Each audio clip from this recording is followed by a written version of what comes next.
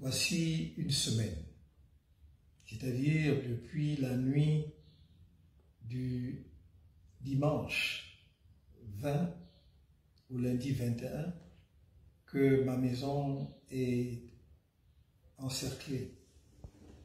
Ma concession est sous le contrôle total des forces que je suis obligé, euh, vu les circonstances, d'appeler les forces répressives, qui sont des forces mixtes de la police et de la gendarmerie, lourdement équipées et qui font une démonstration à la fois écœurante mais inutile de force.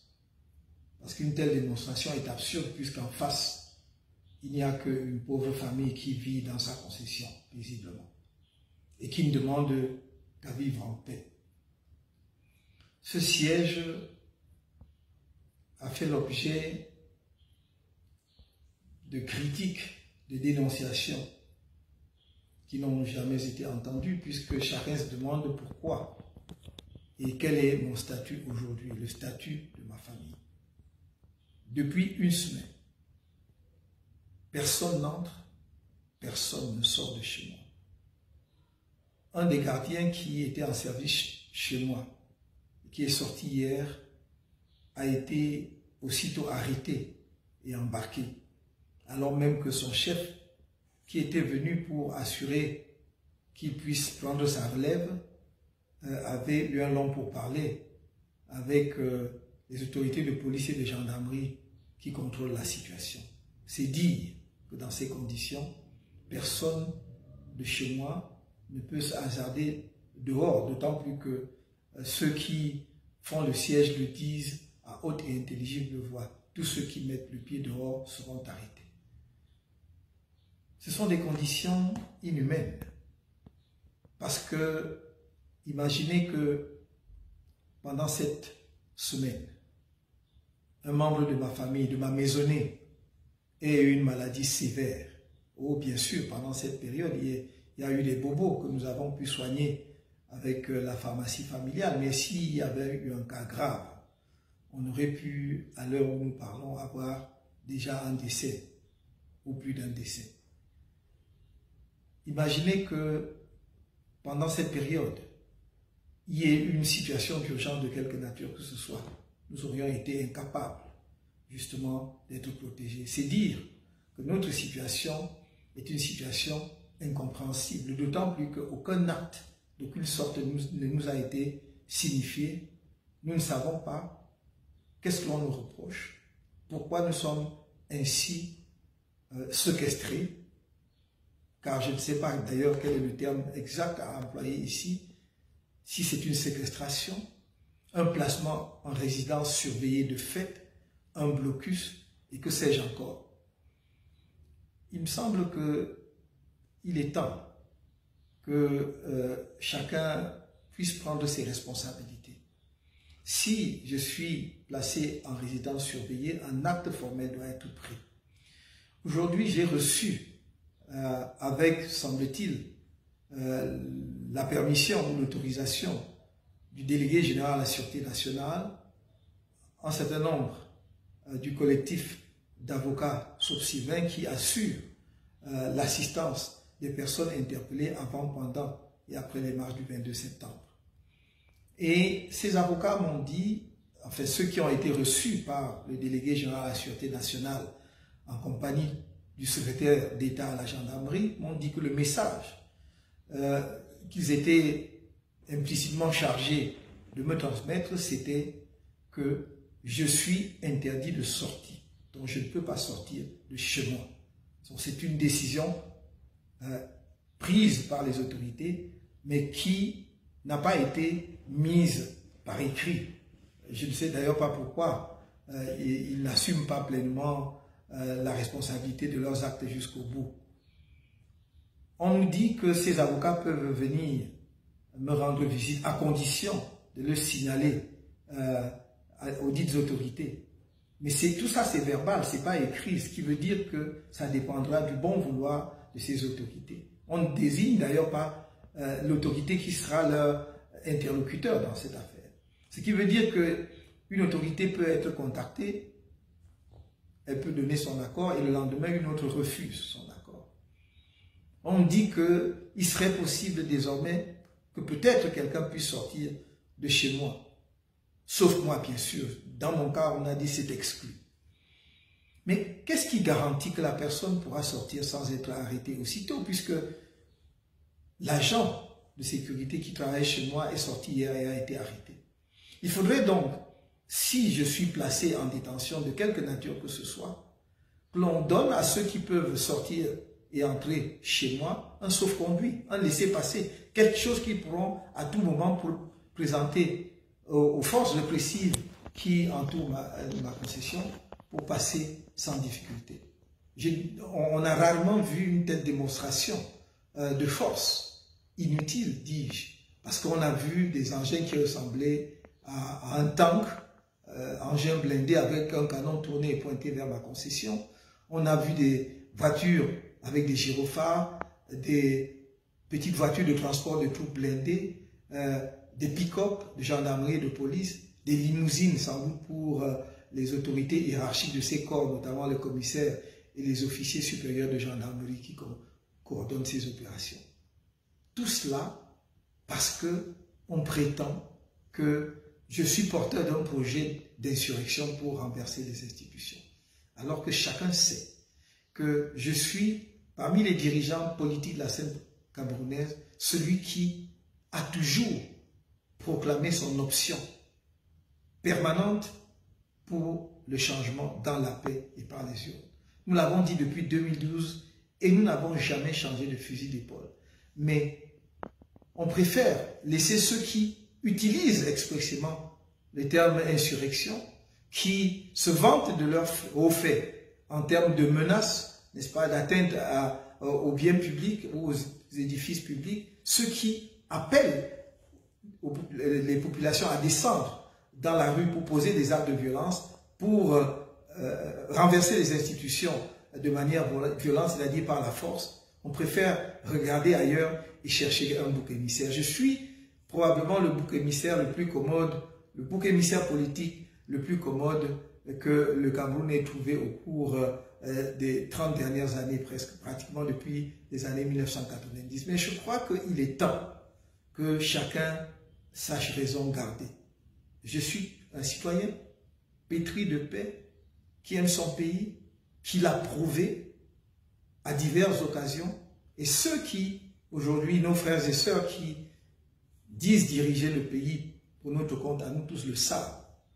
Et donc, personne ne leur fera plaisir en renonçant à ces convictions. Nous avons des convictions, nous avons le droit d'ambitionner de diriger les affaires de notre pays. Les lois nationales et internationales le, permettent. Mais nous avons toujours dit, ce sont les Camerounais qui décideront. Et c'est pour cela que nous disons que l'on crée les conditions pour qu'il y ait une vraie compétition politique dans notre pays et nous respecterons, j'en fais le serment et je l'ai toujours fait, nous respecterons le choix des Camerounais. Même s'ils veulent reconduire le président de fait actuel pour l'éternité, nous respecterons parce que ce sera le choix des Camerounais à condition que cela se fasse par un scrutin transparent, libre et respectant les normes de la démocratie.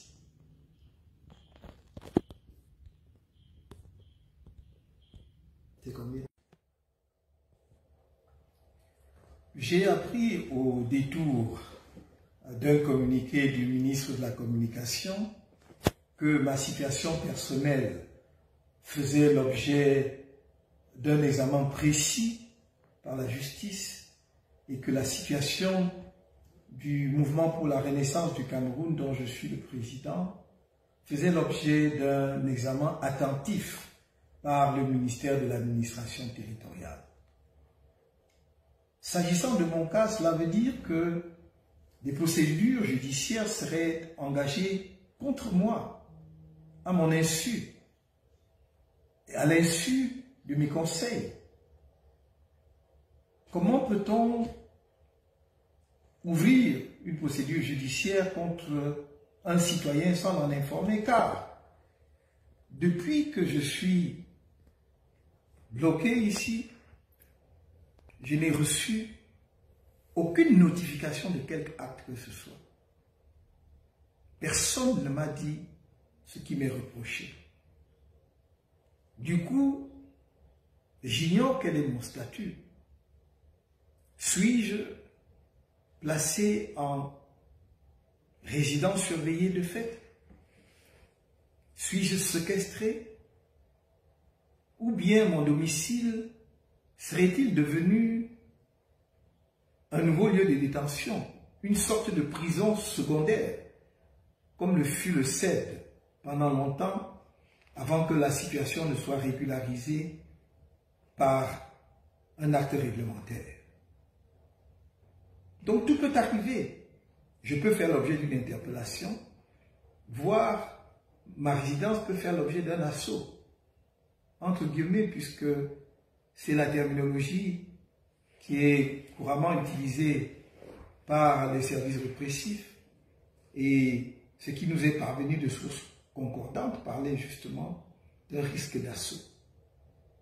Et en ce qui concerne le mouvement pour la renaissance du Cameroun, on nous parle d'insurrection. Mais le professeur Alain Fauguet a été interpellé le lundi soir par ces forces de sécurité déployées devant ma concession.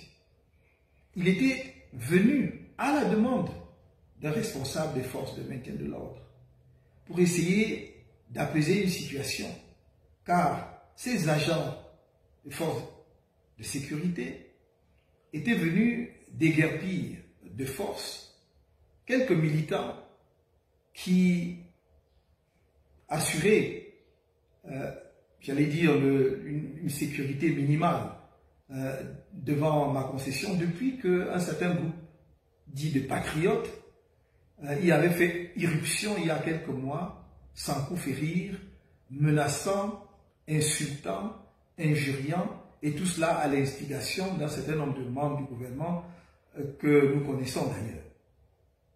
Et le professeur Alain Fouguet avait bien réussi sa mission puisqu'il avait calmé la situation. Et c'est au moment de, de partir qu'on l'a interpellé, alors qu'on avait déjà embarqué justement tous ces militants dans des conditions absolument incroyables, puisque leurs vêtements sont, jonchent encore les rues. Aux alentours de ma concession, on les a déshabillés, mis à nu avant de les embarquer, et on les a embarqués avec leurs motos. On vous parle d'insurrection. Mais M. Olivier Boulou-Nissak, conseiller du président national du MRC et mon porte-parole, a été interpellé chez lui, à son domicile, devant sa femme et ses enfants. Il ne marchait pas. Il n'était pas dans la rue. Où est donc l'insurrection? On nous dit que le 22 septembre, il n'y a pas eu marche. Rien ne s'est passé. On a étouffé les marches. Les Camerounais ne sont pas sortis. Quelques bons esprits méprisants et dédaigneux sont allés jusqu'à dire oui, mais c'est pas parce qu'il y a quelques badauds. Ils traitent ses compatriotes de badauds, même s'ils sont en guenille, ce sont des citoyens camerounais et c'est la malgouvernance et la mauvaise gouvernance qui les a réduits à cet état de misère et de pauvreté. Donc, il ne suffit pas que quelques badauds marchent pour qu'on dise qu'il y a une marche. Or, la marche du 22 a été une réussite extraordinaire et exemplaire sur deux plans. D'abord parce que des Camerounais en colère et frustrés ont eu le courage de braver un déploiement sans précédent des forces de sécurité. Une démonstration absolument écœurante des, moyens répressifs de l'État. Les équipements que nous avons vus tous, à Douala, à Yaoundé et dans d'autres villes du Cameroun, l'argent qui a servi à payer ces équipements aurait pu servir à faire face aux problèmes des Camerounais au quotidien qui souffrent, à faire face à la guerre qui sévit encore dans l'extrême nord du fait de Boko Haram, à faire face à la détresse de la jeunesse qui manquent des emplois, à résoudre le problème d'accès à l'eau des Camerounais, à l'électricité, aux soins de santé de base. Mais on préfère acheter des équipements pour bomber le torse et faire la démonstration que les Camerounais ne bougent pas parce qu'ils sont sous contrôle. Les Camerounais ont dit, malgré cela, nous pouvons sortir. Et cela, c'est un motif d'émotion pour moi, de voir que mes compatriotes peuvent effectivement enfin se mettre debout. Le deuxième motif de satisfaction, et de très grande satisfaction, c'est que les Camerounais ont marché dans la paix. On fait des marches pacifiques du 22 septembre, des marches effectivement pacifiques, comme nous le souhaitions. Nous avions publié un code des marcheurs qui donnait toutes les mesures qu'il fallait prendre pour que la les marches se passent dans la paix. Et les marcheurs ont respecté cela scrupuleusement. Les images existent. Vous ne verrez aucune vidéo sur laquelle des marcheurs s'attaquent aux forces de maintien de l'ordre. Vous ne verrez aucune image dans laquelle ils se livrent à des pillages, à des atteintes à la propriété publique ou privée. Ils n'ont bousculé personne. Ça mérite d'être salué et je voudrais ici féliciter chaleureusement mes compatriotes qui ont eu ce courage-là, ce, ce jour-là, et qui ont montré leur sens de responsabilité et leur civisme. Je suis triste qu'on ait, dans ces conditions, arrêté plus de 600 personnes. Et d'ailleurs, on nous dit qu'il n'y a pas eu de marche, mais on a quand même réussi à arrêter 600 personnes.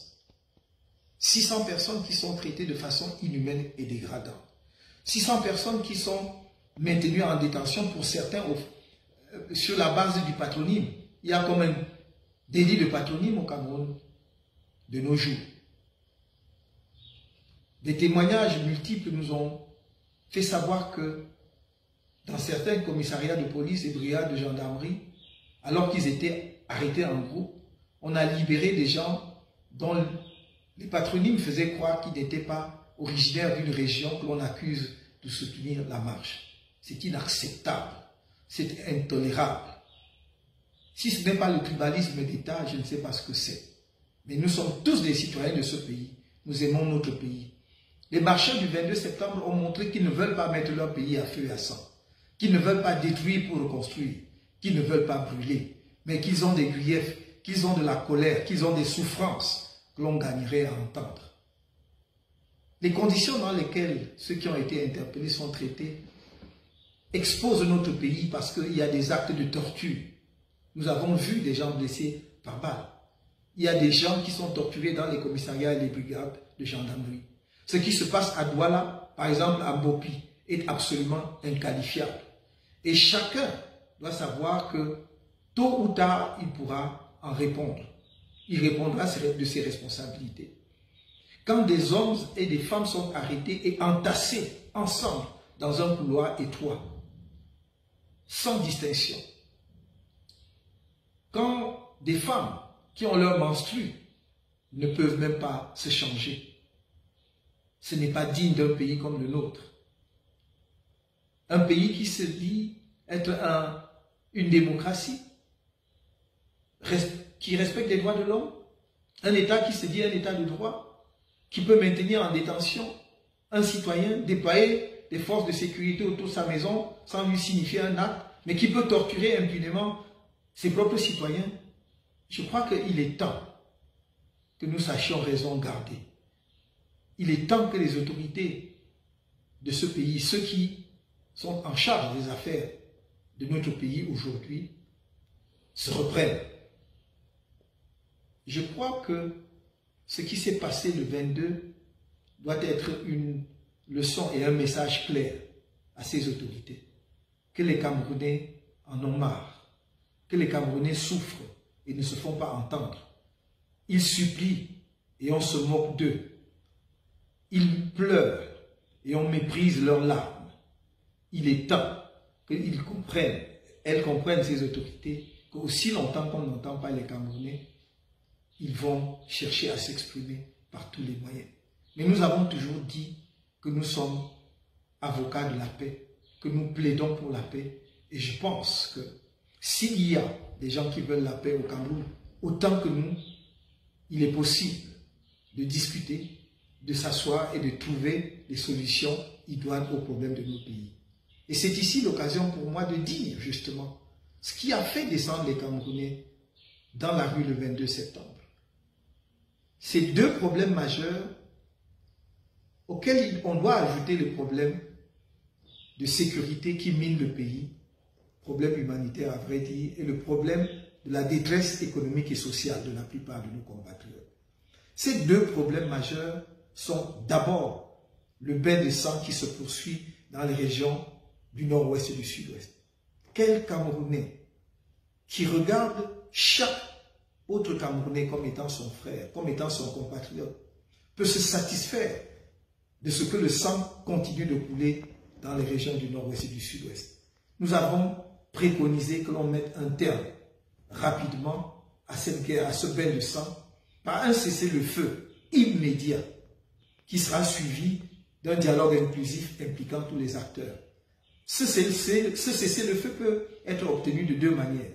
Soit les forces de défense nationale, qui sont les plus fortes, contactent les dirigeants des groupes armés et concluent un cessez-le-feu avec eux, soit si les forces de défense estiment qu'elles ne vont pas, mettons, entre guillemets, s'abaisser à discuter avec les dirigeants de groupes armés, que ces forces de défense déclarent sur instruction du politique, parce que notre armée républicaine est placée sous l'autorité des civils, que ces forces armées déclarent un cessez-le-feu unilatéral d'au moins deux semaines. Sollicitent le concours de nos partenaires internationaux qui en ont les moyens technologiques pour que les satellites d'observation pendant cette période soient braqués sur le nozo afin que l'on puisse effectivement vérifier si le cessez-le-feu est respecté et qui sont ceux qui violeraient éventuellement le cessez-le-feu. Parce que si les groupes armés pendant cette période ne bougent pas, cela veut dire qu'ils donnent un message positif, qu'ils sont prêts pour que l'on mette un terme à la guerre. Par contre, si elles violent le cessez-le-feu, alors elles auront donné des verges pour se faire fouetter. Le deuxième problème majeur, et en, soulevant ce problème, le MRC ne soulève pas un problème particulier, c'est un problème d'intérêt général. Le deuxième problème qui est également un problème d'intérêt général parce que la solution à ce problème ne profitera pas uniquement au MRC, mais à tous les acteurs de la scène politique camerounaise, c'est la réforme consensuelle du système électoral. Et d'aucuns vous diront, mais messieurs, vous n'avez pas la légitimité pour le faire. Mais un parti politique a la légitimité pour poser tous les problèmes du pays, qu'ils soient dans le jeu institutionnel ou pas. Notre constitution le permet. Et nous pensons que aussi longtemps que nous aurons un code électoral qui est porteur de germes de conflits post-électoraux, nous aurons des crises après les élections. Tout le monde a demandé cette révision du code électoral, y compris Elecam, qui a, dans deux rapports distincts, dit qu'il fallait réviser le code. Y compris l'Union africaine, qui a été le seul à observer les élections de 2018, y compris des partenaires aussi importants que l'Union européenne, les États-Unis et le Canada. Il est donc temps que les acteurs politiques camerounais s'assoient pour régler ces problèmes. Et chacun vient, pouvoir voir alors que le pays va se remettre en route. Les investisseurs étrangers vont affluer et même les investisseurs nationaux vont trouver un souffle nouveau, une confiance nouvelle pour effectivement redynamiser l'économie nationale.